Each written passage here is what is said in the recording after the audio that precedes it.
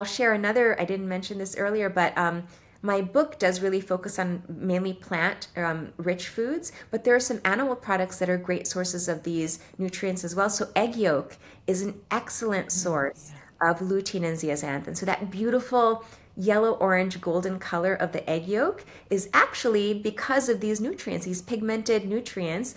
Uh, lutein and zeaxanthin are kind of this yellowish orange pigment. And so if you eat egg yolk on a regular basis, I know in the past everybody would say, oh, eat the egg white, but don't eat the egg yolk. But now we're learning that we should be eating the egg yolk. Um,